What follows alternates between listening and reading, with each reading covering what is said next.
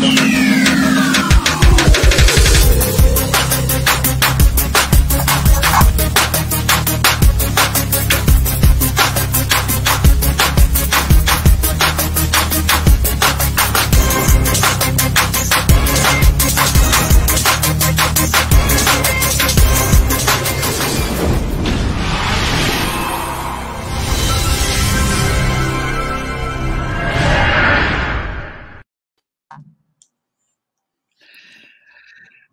Muy bien, ¿cómo están muchachos? Muy buenas noches a todos, a todas.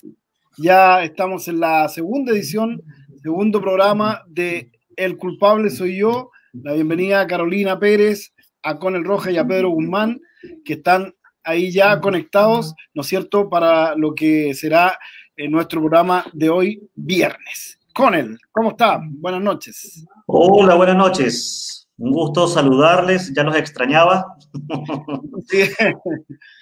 Fueron ocho días eh, desde nuestro primer programa y bueno, aquí contento por, por, estarles acompañando este panel de profesionales de la comunicación social y bueno, de distintas comunas en que nos encontramos en este momento de la región de O'Higgins.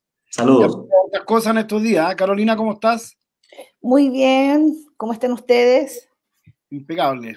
Con ganas de verlos también, se me hicieron cortito igual esta semana. Sí, fue una semana intensa, así que yo creo que vamos a tener varios temas para conversar con todos ustedes. Esperamos también la participación de todos los que nos están viendo a esta hora para que también comenten, nos pregunten y nos cuenten qué son los temas que ustedes quieren que nosotros también tratemos acá en este programa, ¿cierto? Es la idea. Eh, Pedrito parece que se nos quedó congelado un poquito, pero vamos a esperar que retorne. Sabemos el frío, el frío seguramente lo congeló. Además, hace, hace mucho frío por allá.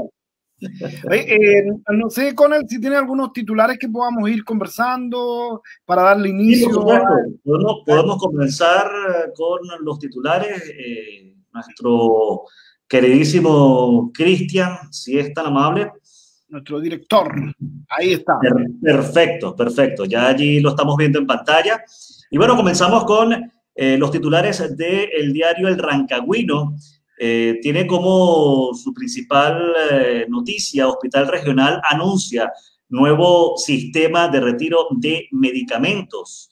El objetivo de la medida es evitar aglomeraciones en el establecimiento y así eh, prevenir eh, los contagios asociados al coronavirus COVID-19.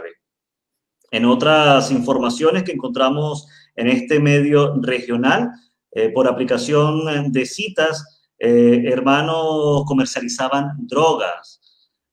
otra información que encontramos en el Rancagüino en este momento, me atreví a decir que no están dadas las condiciones para el retorno a clase. Esto lo dice Boris, eh, bueno, parte de las eh, noticias que encontramos en eh, este, uno de los medios de más de 100 años de trayectoria acá en la región de O'Higgins. A punto de cumplir 105 años, ¿ah? el 15 de agosto, día tradicional del Rancagüino. Saludo a todos nuestros compañeros también que ahí diariamente, bueno, ahora no mucho, pero siempre nos estamos viendo en, en los pasillos de, de alguna oficina. Ahí tenemos el cachapual.cl, ya que también tiene alguna noticia. Yo quería referirme a un tema anterior que apareció en los titulares con el Carolina, claro. referente al, tema de la, eh, esta de la venta de droga a través de las aplicaciones. Ahora estos chiquillos están muy cibernéticos, ya, y que se ha vuelto bastante común, o sea, peligrosamente común, porque tú sabes que hoy día las redes sociales están a disposición de todo el mundo, incluyendo a los niños, ¿no?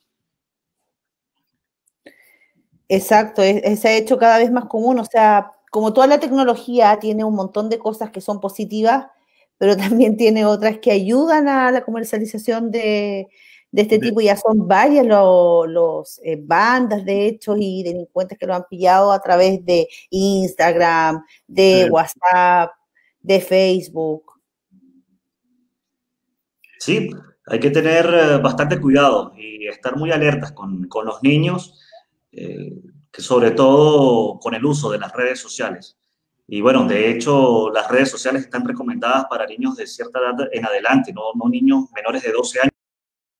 Eh, no es recomendable que, tengan sus cuentas de, de, redes sociales, ¿no? Precisamente para evitar este tipo de flagelos.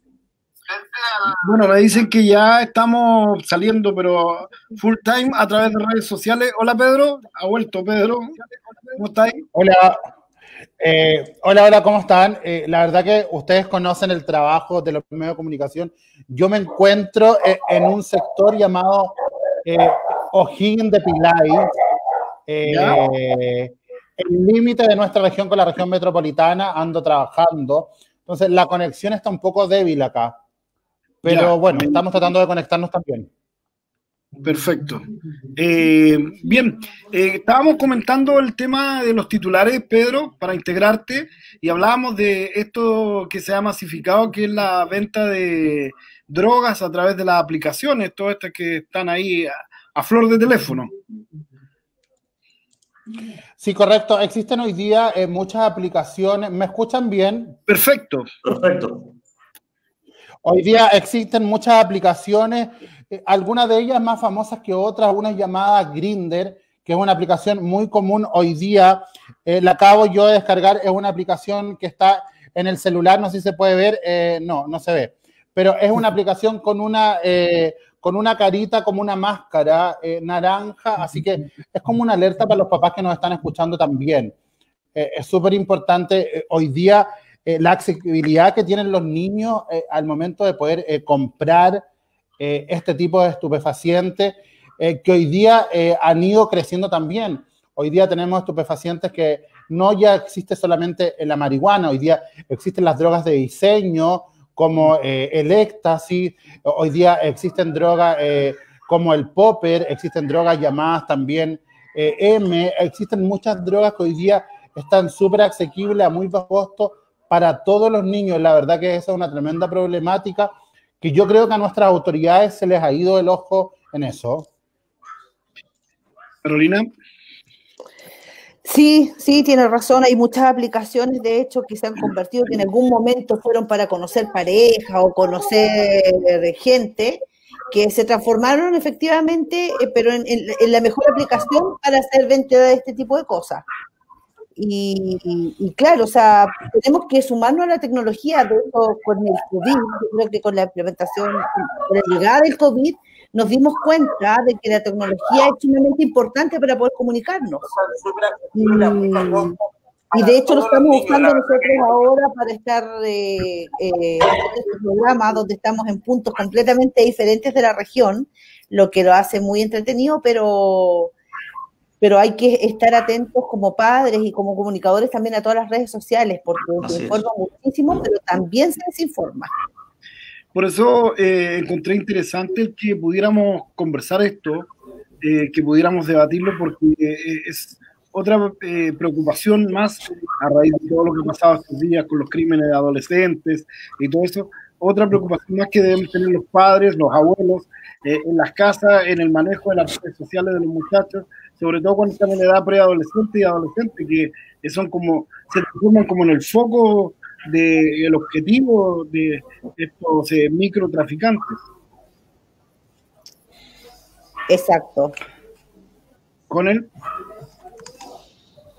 Sí, sí, es muy preocupante pues esta, esta, esta, situación y como les decía, bueno, al momento de conectarse nuestro amigo Pedro, eh, que tenemos que tener mucho cuidado, mucho cuidado, y no solamente el tema de, de estupefacientes, la venta de estupefacientes, también el tema de trata de blancas, eh, el tema de, de, de, abuso infantil, de pornografía infantil, eh, son muchos, muchos temas álgidos que debemos que estar muy pendientes, y como dice Carolina, eh, como medios de comunicación y como periodistas también tenemos esa responsabilidad de, de estar informando a las personas, a alertarlas más bien, para um, evitar que este tipo de situaciones eh, se sigan uh, cometiendo y bueno, que los más perjudicados son, son los niños quienes eh, finalmente son eh, vulnerables, ¿no? Ante toda esta situación.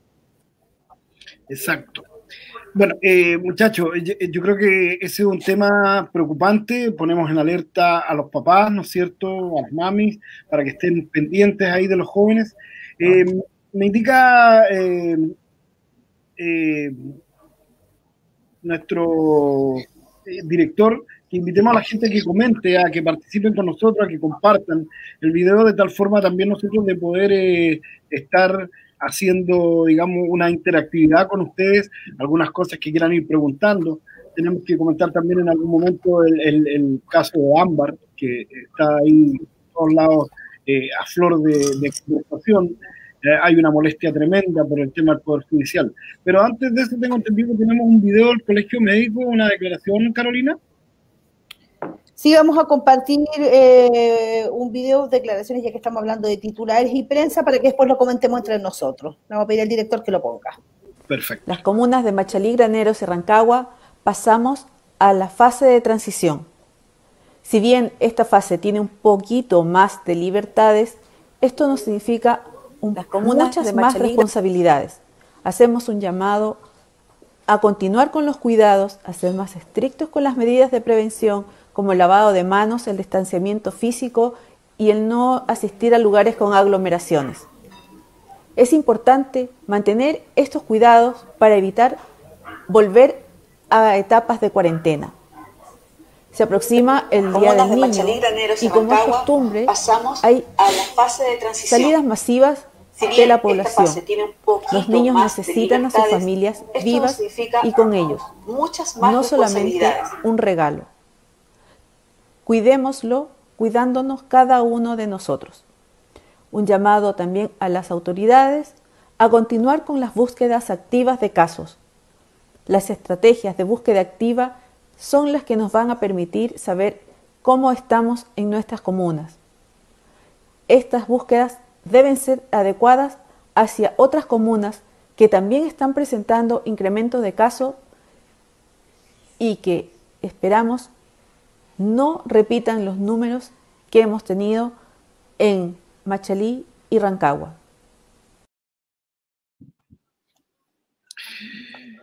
ahí teníamos A, la, presidenta del Colegio Médico de Rancagua, la doctora Leslie Salvatierra, eh, que hemos visto ya nosotros a través de diferentes medios que el Colegio Médico igual ha tenido un protagonismo durante toda la pandemia, bueno, por ser también una mesa técnica, y, eh, y que estaba entregando algunas recomendaciones.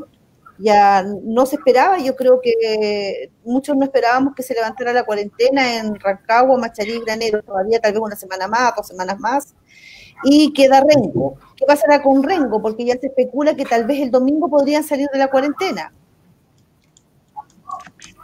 Mira, eh, disculpa, no sé si alguien quiere aportar algo eh, con él, Pedro. Sí, la verdad que eh, la doctora Lely Salvatierra ha tenido un protagonismo súper importante y yo creo que todos los capítulos médicos de nuestra región, yo creo que aquí es súper importante lo que los médicos hoy han podido aportar frente a lo que ha sido entregar recomendaciones, el trabajo y, por qué no decirlo, enfrentar una primera línea frente a los casos de coronavirus en nuestra región. la doctora Lely Salvatierra ha sido súper enfática en, este llamado en poder invitarnos eh, a que entramos en una transición. Y por qué no aprovechar también de decirlo, un proceso de transición eh, que nadie lo esperaba, eh, lo, dijo la propia intendente de nuestra región de O'Higgins, la señora Rebeca Cofré, que ella no esperaba que Rancagua y la conurbación Machalí Granero salieran de, de, esta cuarentena. Todos esperábamos en este momento que Graneros saliera una cuarentena, pero también lo dijo el alcalde Soto, lo dijo el alcalde Urrutia, en un momento que no esperábamos también que salieran estas dos comunas de cuarentena. Hoy día estamos a la espera que salga Rengo. Esperemos que así no sea. Hoy día podemos ver los casos como eh, vemos una disminución de 89 casos hoy día a 123. Entonces, eso es algo súper importante. Eh, la gente toma un cierto relajo frente eh, a una situación. Eh, yo la verdad que lo he podido conversar con muchos colegas, creo con ustedes también. Eh, es importante aquí señalar hoy día de que las únicas personas que nos pueden cuidar son, somos nosotros mismos, o sea, nadie más aquí nos va a decir lo que tenemos o no tenemos que hacer. Lo importante es que una cuarentena nos puede obligar a quedarnos en casa. Hoy día nos tenemos que quedar en casa porque queremos cuidarnos nosotros y cuidar a la gente que nos rodea. Sí, allí eh, quería pues acotar algo también, eh, compañeros. Eh, justamente lo que dice Carolina, es posible que, que era necesario tal vez una, una semana más, digamos, por lo menos. Yo sé que también está en juego el tema de la economía de muchas personas quienes se han quedado sin trabajo y que tal vez dependen de una economía informal, si se quiere, eh, que devengan un, un, salario o entradas de dinero eh, diariamente. Y creo que también eso eh, es de pensar, ¿no? De, de, de, levantar, digamos, esta medida de cuarentena. Pero más allá de eso, pues también está el tema de los contagios, como dice eh, Pedro, justamente que eh, hoy hubo un aumento significativo y entonces esa curva, vemos que esa curva no está bajando del todo como, como, como se esperaba. Eh, los casos debieran tender a, a, la baja, pero no ha sido así. No ha sido así. Y justamente quería compartirles eh, una nota que sale en uno de los portales, eh, no sé si, si allí la, la podemos colocar, eh, Cristian, en, en, pantalla, no, no tengo monitor en este momento, ok, ya, perfecto. Eh, justamente, eh, hablando de, de, de relajo, eh, que tal vez la, las personas se han, se, han, dado se han tomado la libertad un poco en medio de esta pandemia y tiene que ver con, con esta noticia que sale en el Rancagüino .cl. Carabineros de San Fernando detuvieron a 10 personas en un restaurante. Leemos un poquito de esta noticia. Eh, a pesar de las insistentes recomendaciones sanitarias entregadas por la Autoridad de Salud para evitar la propagación del COVID-19, un grupo de 10 personas cerca de las 21 horas de este jueves fueron encontradas durante una ronda focalizada realizada por carabineros de la primera comisaría de San Fernando al interior de un local.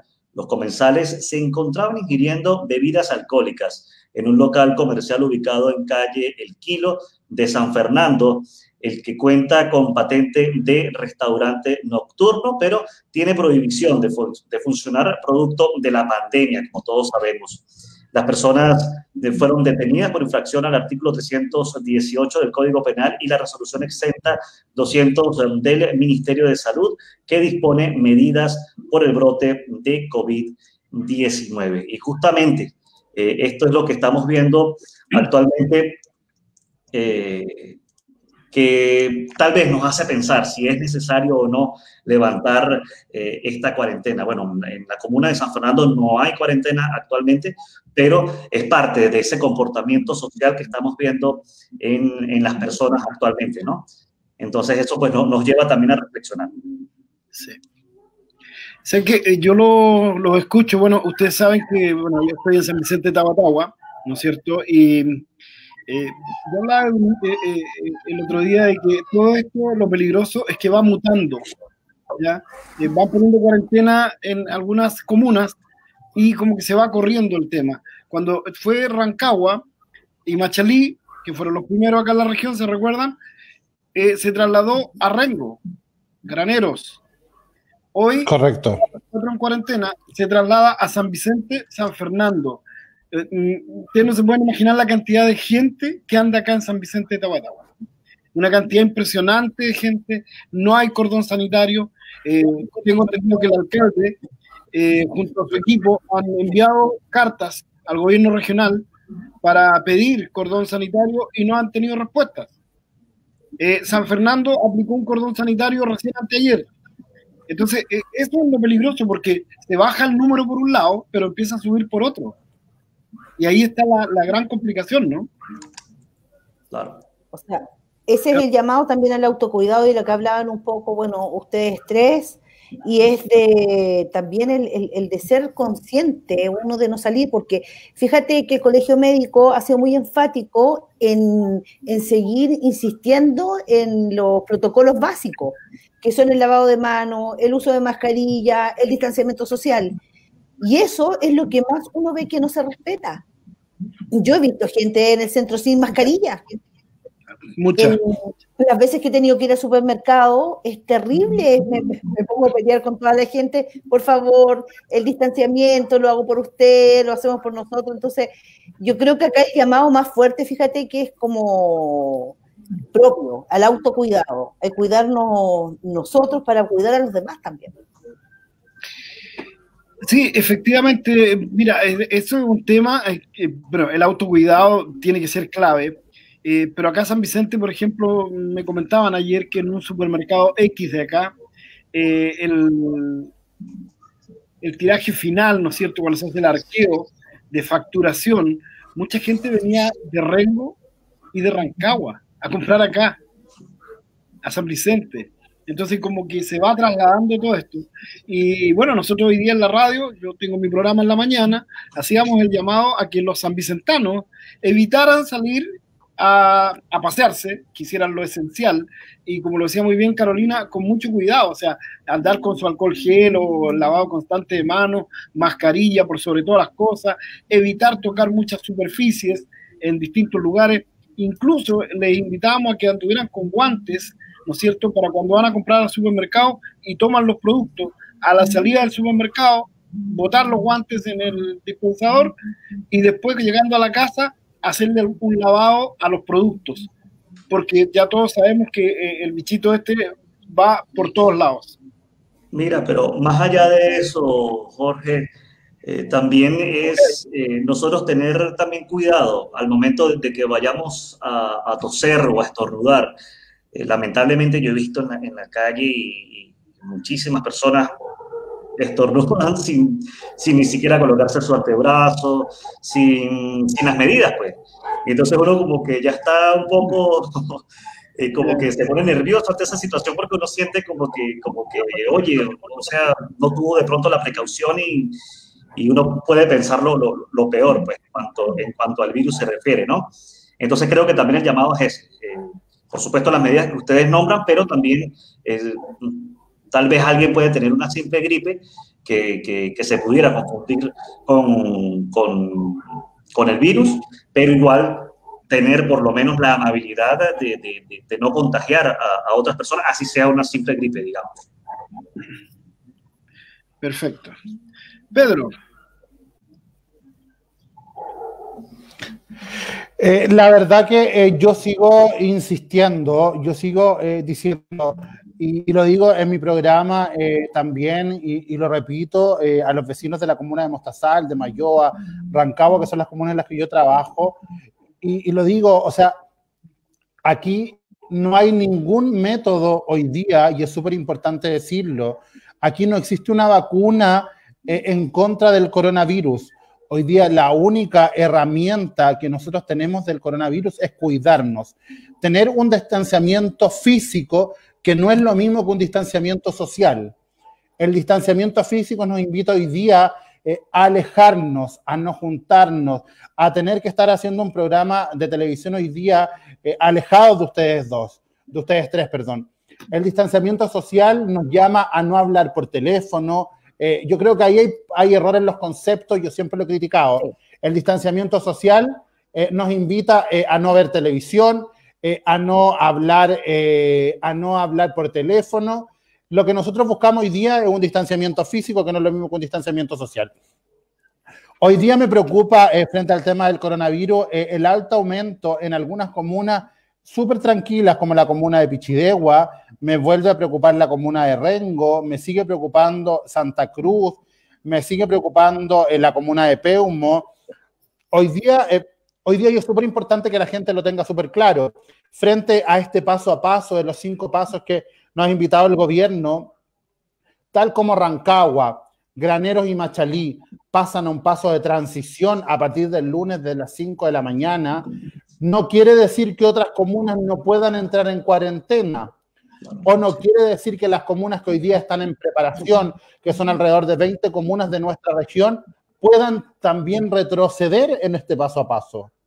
El paso a paso no implica que no podamos volver a retroceder. Eso es lo que quiero que la gente también lo tenga súper claro en sus casas. Tenemos el caso Punta Arena, ¿no?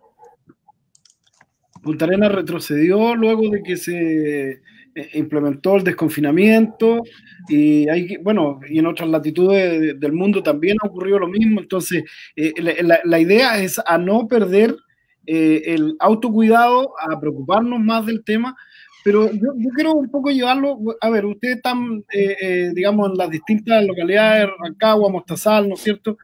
Em, hay mucha crítica con respecto al manejo que ha hecho desde el gobierno regional, desde cómo se van implementando los cordones sanitarios, eh, eh, cómo eh, no se va previendo que si un lugar se pone en cuarentena, se debiera preocupar también de mantener, ¿no es cierto?, el resguardo para los otros vecinos. Ejemplo, mucha gente dice, oye, mira, la gente de Rengo entra y sale sin ningún problema. No sé si ustedes tendrán alguna mirada de eso. Bueno, allí está el caso de los privados de libertad que fueron trasladados desde Santiago hasta, hasta acá, hasta Rancagua.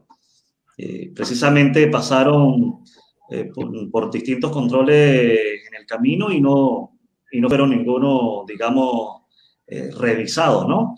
Solo hasta cuando llegan al, recinto penitenciario que, que, pasan por la prueba de PCR y, salieron positivos 79, si mal no recuerdo.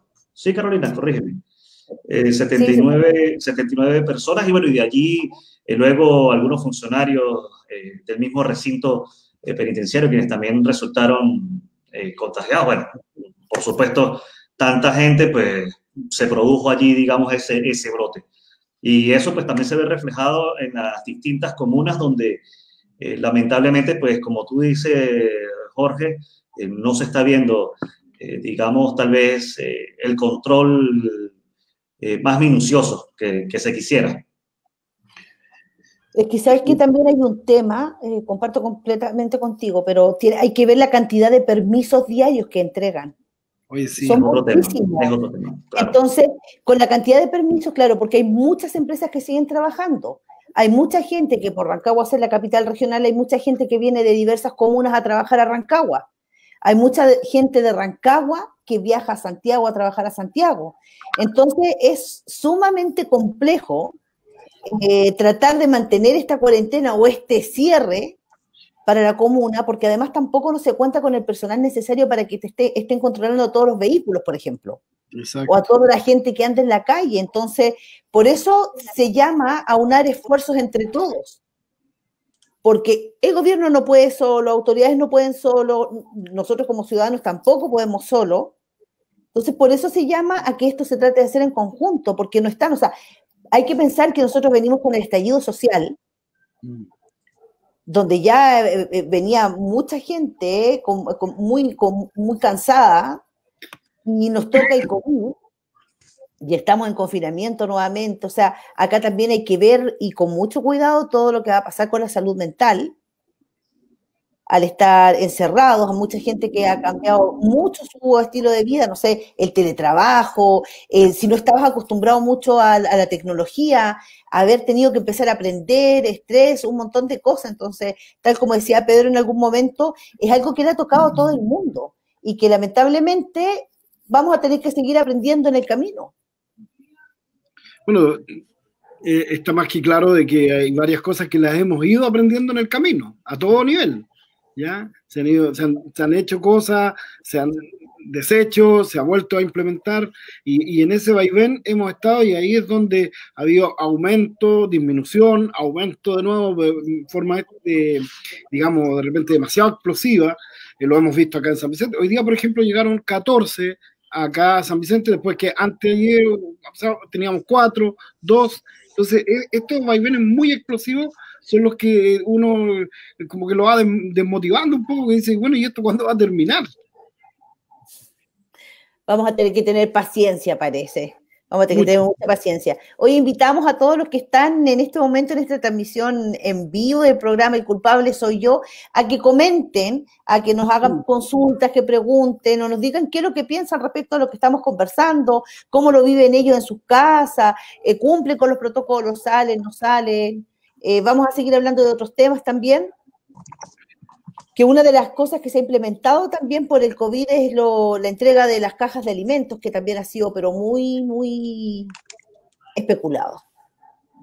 Sí, bueno, eh, eh, eso que dices tú eh, es correcto. Se, se, ha hecho entrega, por lo menos acá en San Vicente, llegó una cantidad de 5.000 cajas, ¿ya? no sé cómo habrá sido los sectores de ustedes, y se está haciendo, este, esto viene de parte del gobierno, pero que se encarga de hacerlo el municipio, la entrega. Ante el reclamo de mucha gente que dice, oiga, le ha tocado a varios y a mí no me toca y no ha recibido ningún beneficio eh, el otro día nos llamaban acá a la radio un programa que le dejaron la caja dentro de su casa, le entregaron, eh, y después ella le pregunta una cosa, le revisan el nombre ruta y dice, ah, no, nos tenemos que llevar tu caja, ya no le corresponde porque usted ya recibió. Entonces, situaciones como esta... O sea, eh, es importante mencionar, el gobierno en una primera instancia entrega 2,5 millones de cajas de alimentos para Chile, en una segunda instancia entrega 3 millones de cajas de alimentos para Chile, principalmente para llegar a paliar un problema social que hay hoy día súper importante en las familias. Cuando hablamos de cuarentena, y lo conversamos el viernes pasado, compañero, cuando hablamos de cuarentena, eh, hablamos de un problema social y el principal problema social hoy día es un problema de cómo abastecemos a esas familias que no van a poder salir a buscar su sustento día a día. Pero aquí también es importante decirlo, aquí hay un trabajo coordinado por una intendencia regional, por una gobernación regional, pero principalmente por cada uno de los municipios. Yo lo señalé el viernes pasado y, lo señalé con mucha molestia. Alcaldes que no han entregado eh, hoy día eh, las cajas como deben ser. Eh, yo creo que hoy día la urgencia en una cuarentena, en una pandemia como la que estamos viviendo, todos es llegar con alimento a cada una de las casas, es llegar eh, a entregar solución a cada una de las casas. Yo sé que los municipios también han recibido dos inyecciones de ingresos de eh, dinero, primero eh, a través del Ministerio del Interior y hoy día nuevamente muchos municipios han comprado vales de gas, han seguido comprando cajas, han trabajado en el proceso de sanitización, pero es importante también mencionarlo, Carolina, con el Jorge, que una familia de tres personas no vive con una caja de alimentos. Una familia de cinco personas no vive con una caja de alimentos.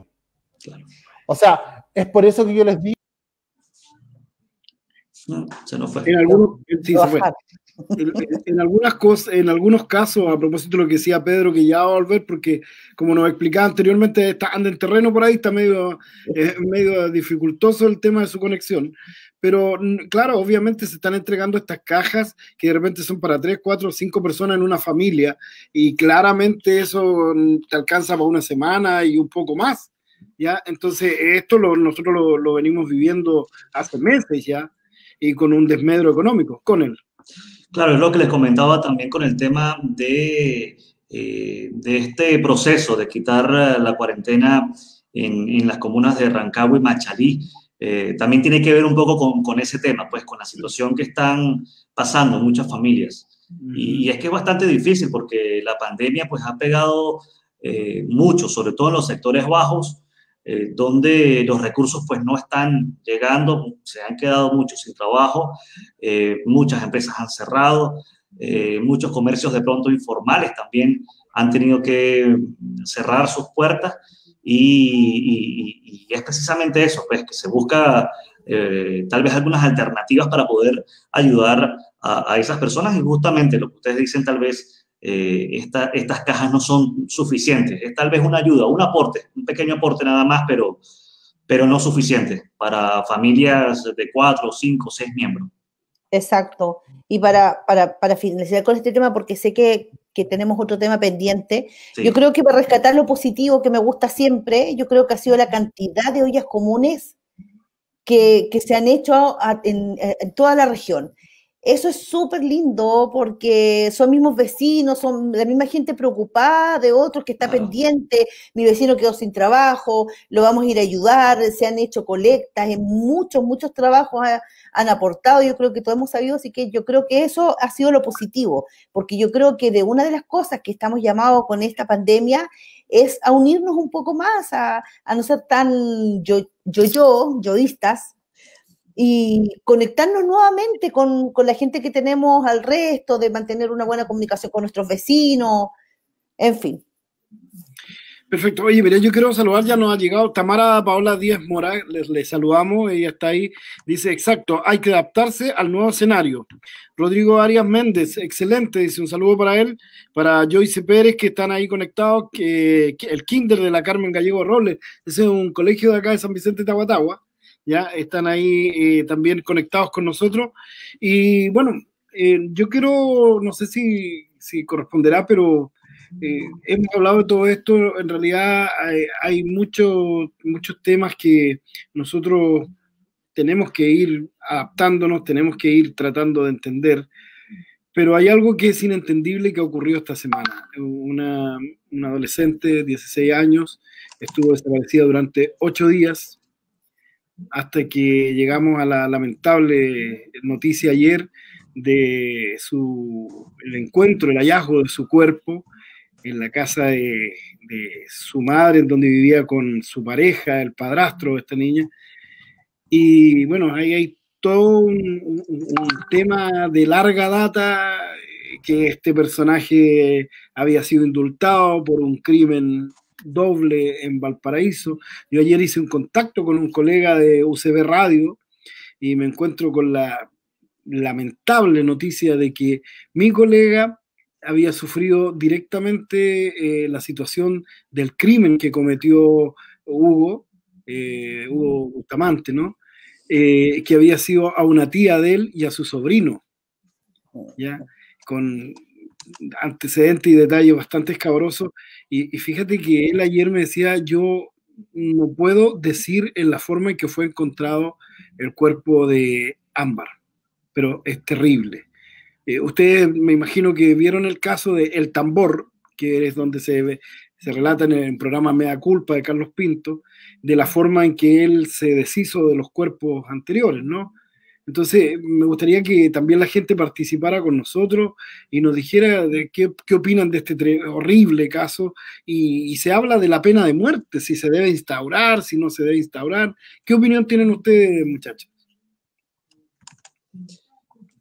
Sí, bueno, un hecho bastante lamentable. El viernes pasado nos tocó también eh, conversar sobre eh, un asesinato y hoy eh, estamos hablando de otros asesinatos que lamentablemente enluta no solamente la familia de esta chica, sino digo que a, todo el país. Y justamente en este momento estamos viendo imágenes de una protesta que eh, se dio hace una hora, justamente, eh, donde la gente está repudiando totalmente estas acciones eh, y bueno, en verdad pidiendo justicia para, para, para Ámbar y que, bueno, que la ley tenga que hacer lo que, lo que tenga que hacer en este caso y que no se siga cometiendo este, este tipo de delitos tan, tan, tan tristes y lamentables.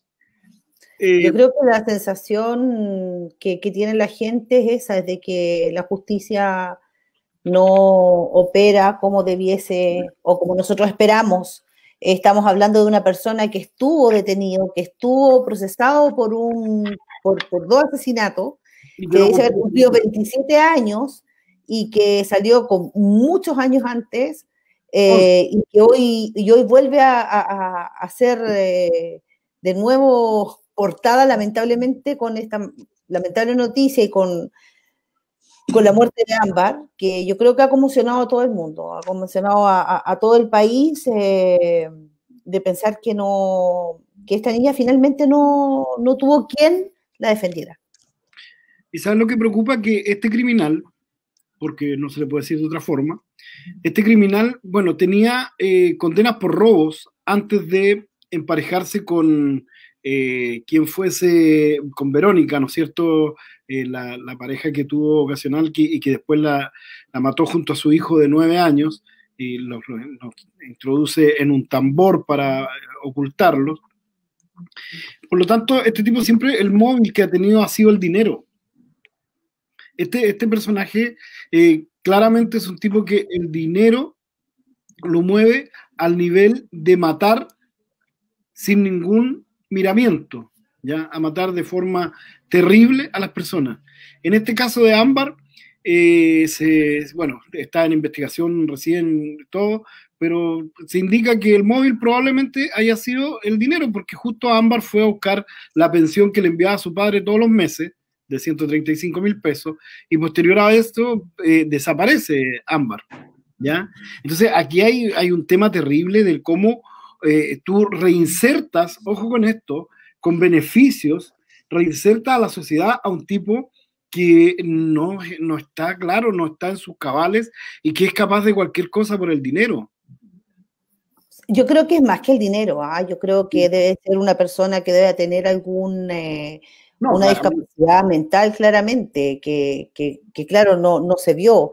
Eh, es lamentable, bueno, ahí nuestro director nos había puesto recién en, en pantalla una noticia donde decía que, que, no había sido la, los, los, detalles que dejó en libertad el presunto asesino de los adolescentes debido a las diversas noticias que se generaron por esto al saber que él ya había sido procesado y condenado por otro caso muy similar. Entonces acá en este medio dan las, eh, nos dice que dice que fue indultado, pero es falso. Dice de público conocimiento que Bustamante estuvo anteriormente tras la reja luego de ser condenado por el doble asesinato de su pareja Verónica y el hijo de ella de nueve años, eh, que este hecho ocurrió en el 2005. En la oportunidad recibió dos penas, de 15 y 12 años, cada una por homicidio simple. En total, 27 años. Pero en el 2016, transcurrido 11 años de presidio, obtuvo el beneficio de libertad condicional. ¿Por qué? Acá tenemos que entender entonces eh, cuál es el proceso o la ley que lo dejó en libertad. Eh, acá dice que de ese año data el decreto 321 de 1925, que norma desde ese entonces la libertad condicional en Chile. El 2001, el 2001 se derogó la pena de muerte y de esa forma la máxima sanción aplicable a una persona pasó a ser el presidio perpetuo calificado. Eso implicó que esos condenados no se podrán conceder la libertad condicional sino una vez transcurridos 40 años de privación de libertad activa. Detalla la norma. O sea, tienen que haber sido condenados a una pena de mm, presidio perpetuo. A los condenados a presidio perpetuo simple, que en este caso se les podrá conceder el beneficio de la libertad condicional una vez cumplido 20 años. Entonces son varias las, cosas que, se han estado informando. Que, eh, escuchar, escucharte a ti leer eh, eso, Carolina, aparece un año, 1925. Mira tú desde cuándo data ese decreto. 1925. Estamos a puertas de cumplir 100 años. 100 años de esa especificación legal con todos los cambios que ha habido ahora en el tiempo. Y eso a, buenas claras nos habla de una legislación totalmente retrógrada. O sea, eh, estamos, eh, como dice un amigo mío que a lo mejor usted lo diga, Jorge Zapata, periodista, le mando un saludo, estamos en la B. Estamos en la B, siempre dice lo mismo. Pero yo creo que nosotros estamos en la B tiraditos para la C. Porque en ese sentido nosotros nos preocupamos de poner el año 2005 una reforma procesal, pero no, hemos, eh, no nos hemos modernizado en nuestro código penal. Y producto de eso ocurren este tipo de cosas. Ojo, ¿ah? que hoy día me decían, este es un caso que apareció y salió a la palestra ahora por el tema de Ámbar. Pero hay otros muchos de personas que son dejadas en libertad, ya sea por indulto o por eh, ¿cuánto es? libertad eh, eh claro, eh, la libertad que tú dijiste recién lo, lo ahí, bueno, se me fue, y, hay muchos casos de, de, crímenes horrendos, de delitos, pero muy calificados, y que nunca cumplen sus penas, nunca. Siempre salen con beneficio. Por ahí la jueza eh, indica que no es un beneficio, que es un derecho. Pero ahí es donde empieza esta polémica del derecho. O sea, eh, eh, mi derecho termina donde empieza el del otro. Entonces hay como una contraposición, porque después nos preocupamos de cuidar los derechos de aquel que cometió un crimen, violando los derechos de otras personas y de otras familias. Sí, yo, yo, creo que también tiene que entrar en juego, más allá de, de, lo que está estipulado en la ley, por supuesto, lo que está en ley, hasta que no sea modificado o no se promulgue una nueva ley, por supuesto, pues se tiene que cumplir con lo que está allí. Pero también tiene que jugar mucho el criterio. Creo que, que el criterio de, de, los jueces, en este caso, eh, tiene un papel fundamental, ¿no? Y, bueno, ahora estamos viendo las lamentables consecuencias de, ese criterio o esa decisión que se tomó eh, un tiempo atrás y bueno, lamentablemente Ámbar eh, es parte de, una víctima más de, esta mala decisión, de este, de este criterio pues, que se tomó. ¿Cómo se dice? Que la, ley no tiene sentimiento. Las leyes se basan en decretos y leyes.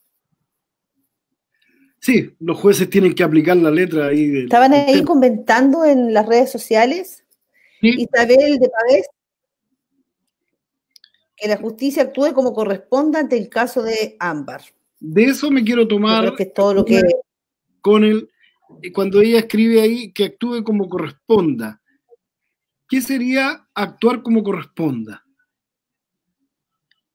Porque algunos hablan de la pena de muerte si se debe, eh, se llama? A instaurar, la pena de muerte, otros dicen eh, eh, la pena de muerte de repente resulta ser como un alivio para estas personas, chao, se acabó el problema, ¿me entiendes? otros dicen pena, cadena perpetua calificada, o sea, sin, sin derecho a ningún beneficio. yo personalmente voy a emitir mi opinión para que los demás también participen. Yo no soy partidario de la pena de muerte, sí de la cadena perpetua, sin beneficios. Concuerdo contigo. Sí. Yo, el, el, el, ¿cuánto se llama? El ojo por ojo, diente por no funciona conmigo.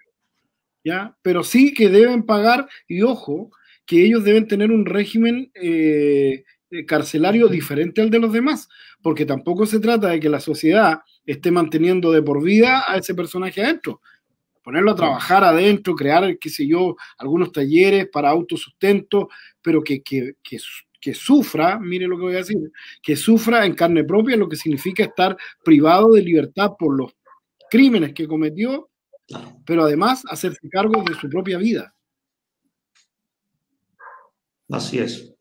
Sí, la, idea de, de, los centros penitenciarios debiera ser esa, pues. Eh, finalmente de, tratar de transformar de alguna manera a esa persona, a ese criminal que, está entrando, pues, para que, aunque sea el caso de una condena perpetua, eh, pueda incluso pagarla, pero eh, que sea de una manera como un poco más productiva, digámoslo así, ¿no? Y como tú dices, de pronto con algún tipo de actividades que, que de alguna manera lo inserten a la sociedad estando dentro del centro penitenciario. Exacto, temazo. Es un temazo eso de la. De, de ver si acaso la pena de muerte y todo, porque ahí se viene todo un tema ético, moral. Complicado.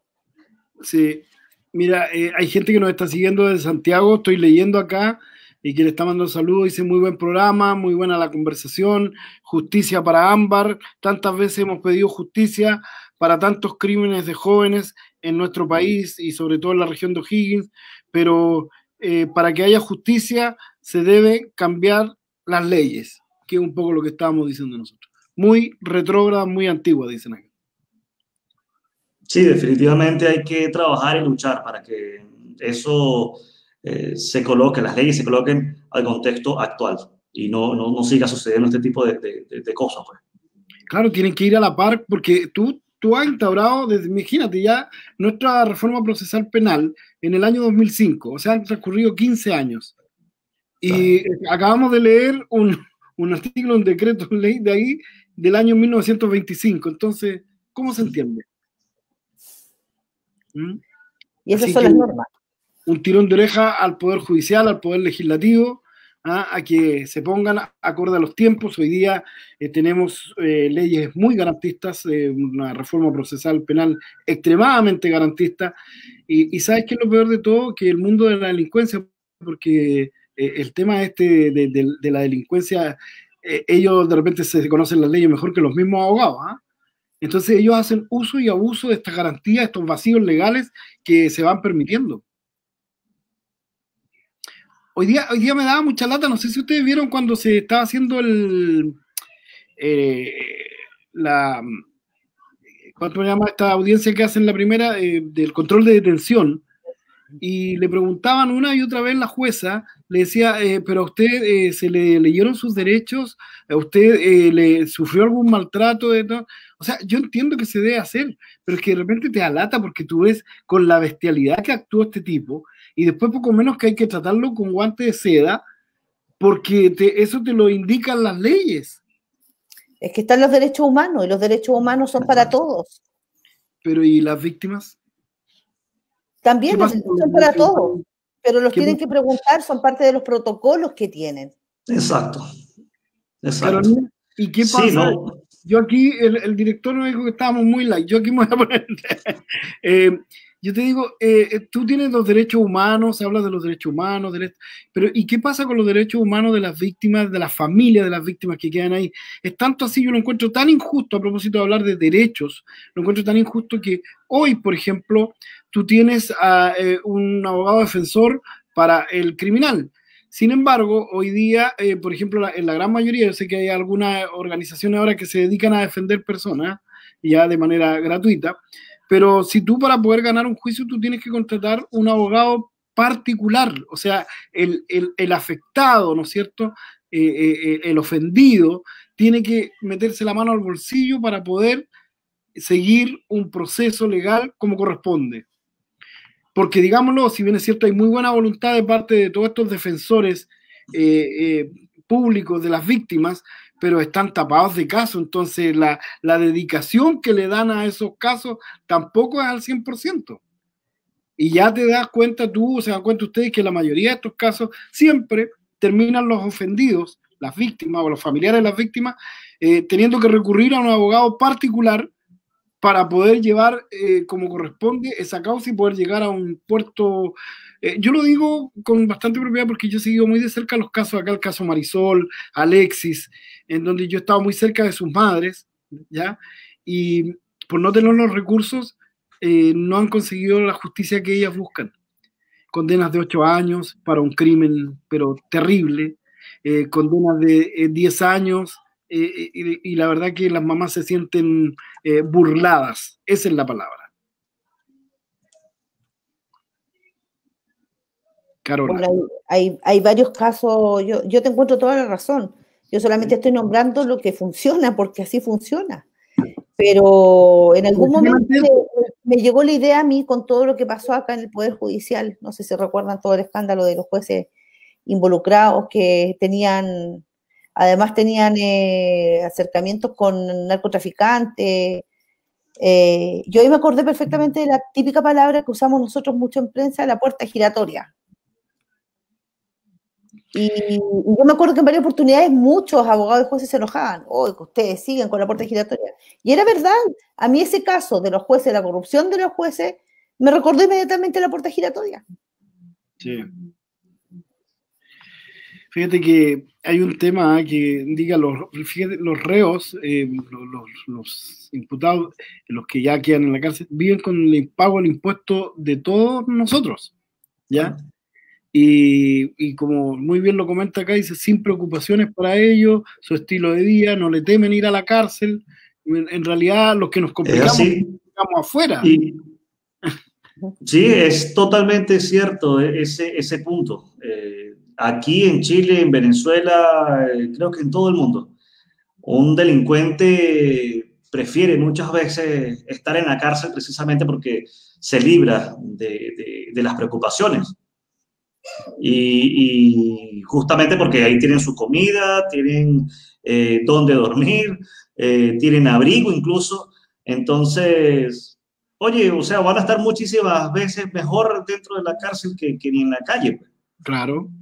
Entonces, entonces es, algo, es algo también para reflexionar, ¿no? No, y además pueden seguir haciendo sus negocios desde la cárcel, así que... O sea, lo, vemos todos los días de las estafas telefónicas, que incluso ya sirvió hasta para la chacota. Hola, te habla el Brian, el gerente, gerente con J el otro día, no sé si vieron un WhatsApp. Exacto. Oye, no, no sé si ustedes, pero ¿ustedes pueden creer que ya estamos en el tiempo? que nos tengamos que despedir. Perdimos a eh, Pedrito en el camino, además. Eh, eh, es que empezamos a las 20.08, así que estamos casi en el tiempo.